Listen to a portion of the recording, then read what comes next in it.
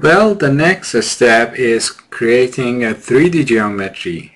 We created a sketch and we want to convert it to geometry. Right now, if you use the middle button of your mouse, you can see that it is just a 2D plane and nothing is here yet.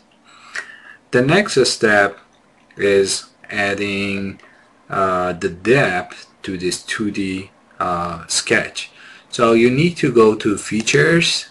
You always need to use the features to add the depth and 3D to uh, the planes. And use the extrude boss or extruded boss.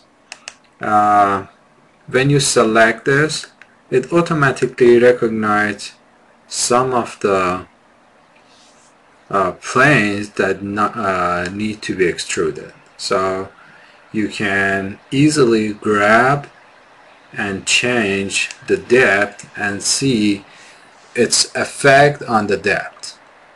And when you were happy with the depth or the thickness of this mirror, you can click on OK and it creates the frame of the mirror. You can use the middle click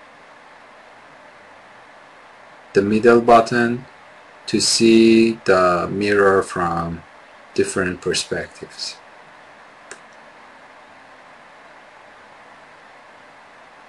And also you can go here and select the front view